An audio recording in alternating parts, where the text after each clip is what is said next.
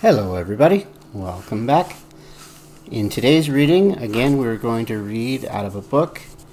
The author, the name of the author is Paul David Tripp. The title is New Morning Mercies, and we're going to be reading a daily gospel devotional. And each day that there's a different devotional. And I will always try my best to do a daily devotional uh, if any other content is out there, um, can't promise there, but I'm going to try my best to always give daily content uh, where I think it's a good good for my soul and good for others. So follow along, well, you can't follow along with me, but have a good listen, and I will do my best to read it um, in the best comprehensive way that I can. So here we go, May 26th.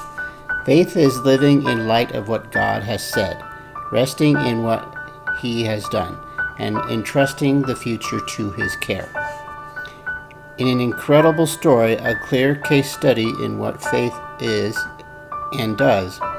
By faith, Abraham, when he was rested, offered up Isaac, and uh, he who had received the promises was in, uh, in the act of offering up his only son, of whom it was who of whom it was said through Isaac, shall your offering be named. He considered that God was able even to raise him from the dead, from which, figuratively speaking, he did receive him back. Hebrews 11 17 through 19. God has promised Abraham that his descendants would be like the stars in the sky, and through his descendants all the nations of the earth would be blessed. But Abraham and his wife Sarah didn't have any children, let alone a clue about how he would pass down the promise to the next generation. They waited and waited. De- decade piled up on decade but no son came. Abraham was an old man, and Sarah was decades beyond her childhood bearing years. Then, in a miracle of God's faithfulness, a son, Isaac, was born.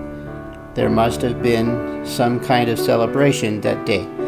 God was, a, God was true to his promises. He did the power to deliver.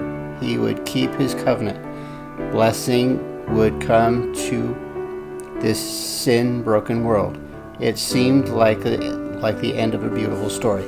Then God came to Abraham and told him to sacrifice the promised son.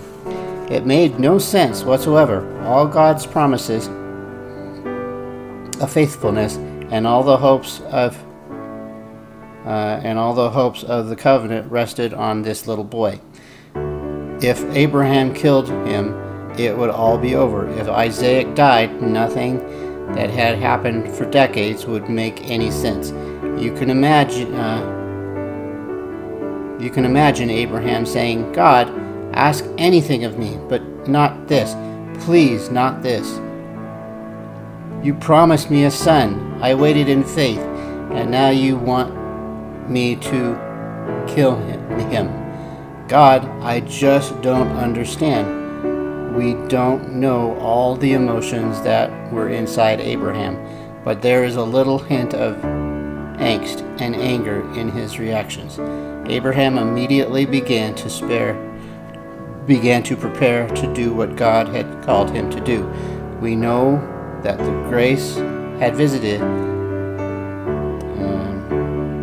and transformed the heart of this of this man or he would not have been able to react as he did. It's clear that Abraham did not know why God was asking him to do what he had asked, and it is clear that he did not know what God was going to do. Abraham reasoned that maybe God would re, uh, resurrect Isaac uh, after the sacrifice, but that was not what God was intending. This is where this passage exposes what faith is about. Abraham wasn't relying on what he could see or understand. No, he was at rest because he acted on the firm platform of God's commands, as well as his presence, promise, uh, as well as his presence, promises, faithfulness, and power.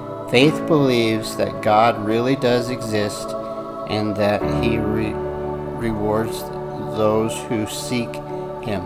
But faith isn't natural for us. It is our it is ours only as a gift. If God's grace, seek the grace again today. For further study and encouragement, Genesis 22. I think this was a great uh, passage today. The only thing that comes to mind, my mind, is a few things.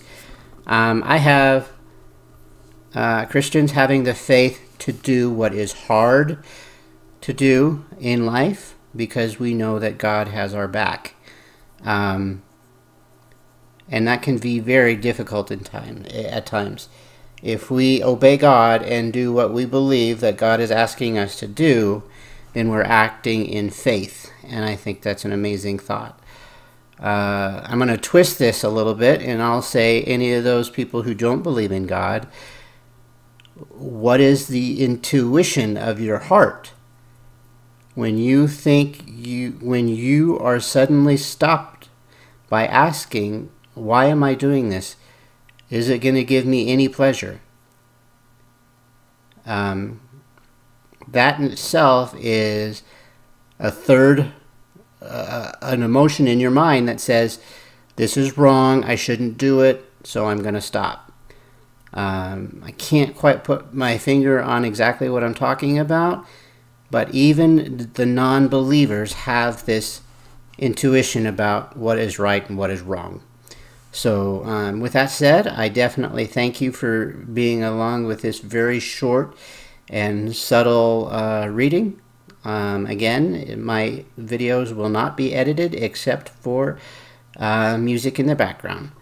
Uh, may God, may you be blessed in life and or rested in life, in whichever direction you follow.